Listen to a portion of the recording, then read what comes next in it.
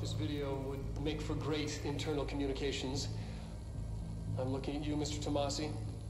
So, this is where the magic happens. Anyway, I- I've been here for 24 years now. I've always been here.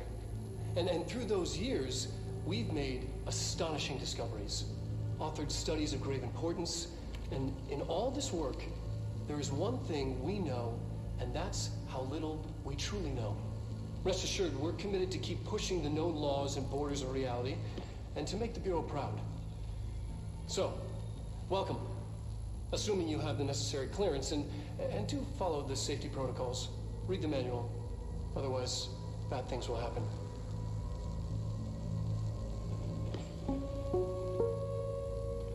Research sector, huh? Home of the Bureau's mad scientists.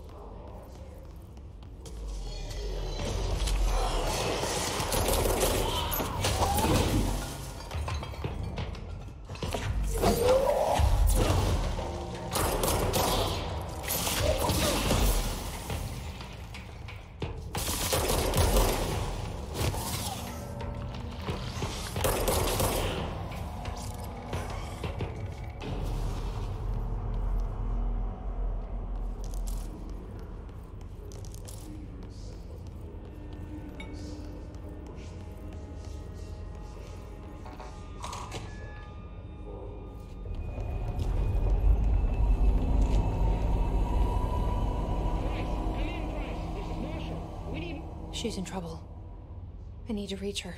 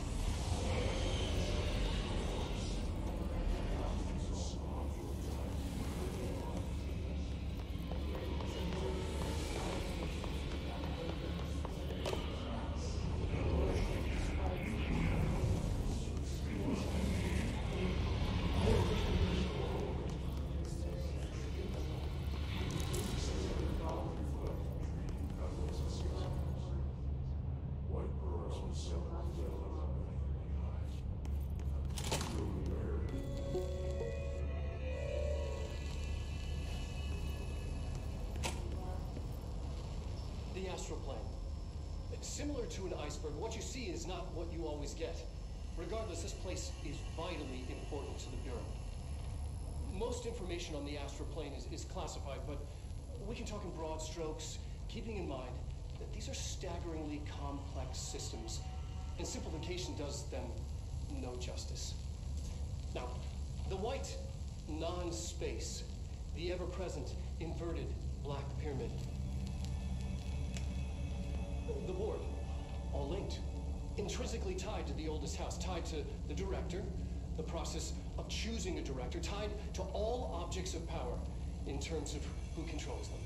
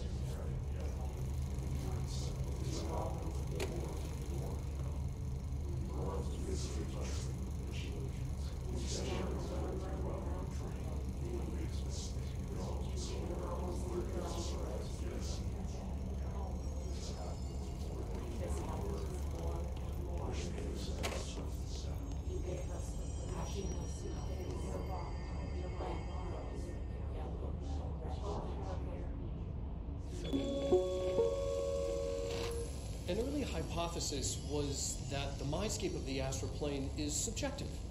But that was fast proven wrong. It's an actual place, not a construct of the mind, even though it is with our minds that we enter and experience it. But then one could argue that that's the case with all reality. We've been able to record footage of the astral plane by monitoring the brain activity of those experiencing it. That is the only concrete material that has come out of the astral plane expeditions one shocking exception. In the astral plane footage, we're always in the vicinity of the pyramid. We've concluded that this, not the entire plane, is what the board controls. We have glimpsed movement, native species, always in the distance, and yet contact was made. We don't have footage of this, a technical malfunction, but when one of our astronauts returned, a brain cloud, an astral feud, had hitchhiked a ride in his head. It ruptured out, killing the subject in question. It's a relentless predator, pursuing thoughts, minds, lethal to those the entity feeds on. Proper containment protocols are to be observed when dealing with it.